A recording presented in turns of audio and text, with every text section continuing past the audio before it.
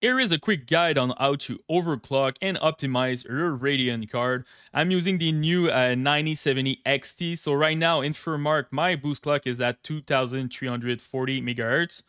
Just go to your Radeon software in performance, go to custom in your GPU tab. Make sure that your power tuning is at 10% over there. So you're gonna make sure that you will provide more watts to your card and go to GPU tuning and make sure that you undervolt your card to getting better thermals and also you will have better boost clock with that.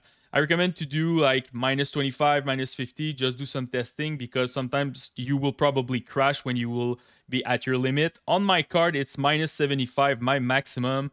I just apply change like that, go back to Furmark, and as you can see right now, my core boost clock is at 2600, so a pretty decent boost over there. I did that also on 3D Mark, and my stock card did uh, 7140 on Steel Nomad with the optimization overclocking. Now I'm doing 7600.